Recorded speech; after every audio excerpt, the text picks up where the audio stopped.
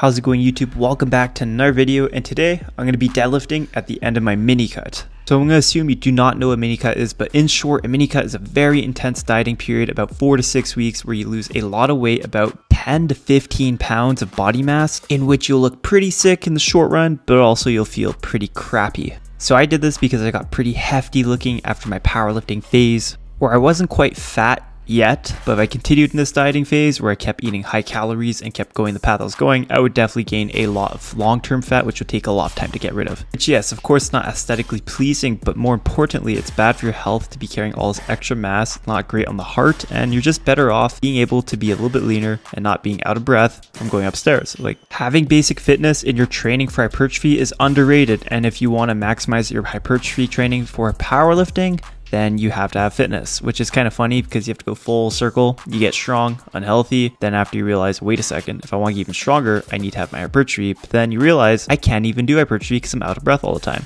So what do you have to do? Mini cut for powerlifting to get leaner, more solid mass. So anyways, I've done that and I'm lean enough. You'll see my physique at the end of this video, but I haven't deadlifted for about two months where I've done close to singles and I decided to see where I'm at at the end of this mini cut, mostly for social media and YOLOing for the sakes of YOLOing. 635 for three was what I did previous to this. And I was like, hey, this felt pretty good. Let's go 675 and see how it goes. Then it went up and then I tried 705, which is right now.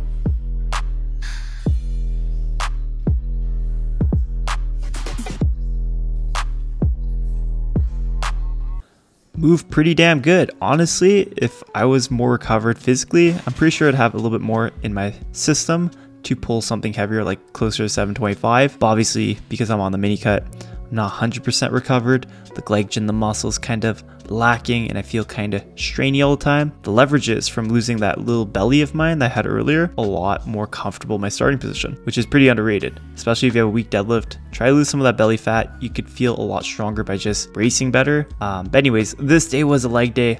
I am going hack squat mode, anterior leg day focus, ass to grass, well, as deep as I could without my ankles coming off the pad. And yeah, I actually put on seven plates and it was a little bit too heavy, but it's pretty good, I guess. I don't know. I don't really count how strong I am on these lists anymore. Um, the overall gist of the movement to build the quads because that's like one of the weaker body parts of my physique.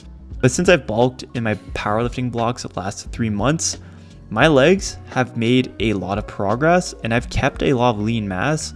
For example, before I started this bulk, I was sitting at around 212 pounds, pretty lean, about the same body composition that I'm at right now. Now I'm sitting at about 217 pounds. Uh, and you might not think that's much, but for leanish mass, that's actually huge.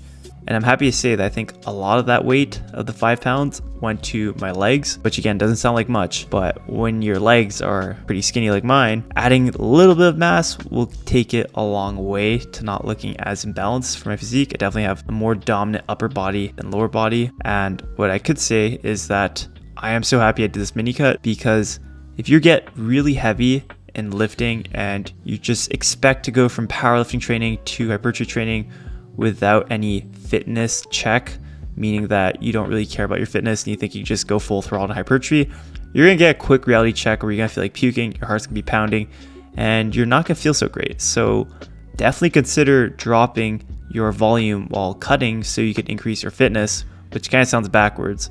But essentially, it's a good break for your body to get used to all the moving variables in your training. And so yeah, that's what I've done. Dropped my volume for everything. Still training pretty frequently, about six days a week, but having enough volume to recover in between sessions and not doing a whole lot for my legs. As you saw, I did a total of three exercises plus adductors, and it's not a whole lot for the quads, even for the glutes, if you're counting the deadlifts.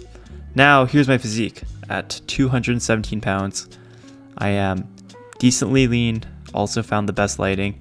This video was taken from an upper body day as well, and yeah, pretty happy where I've come with this mini cut, but I'm also looking forward to be on the surplus to actually start making progress again because I'm going to do a powerlifting meet probably early September after my travels.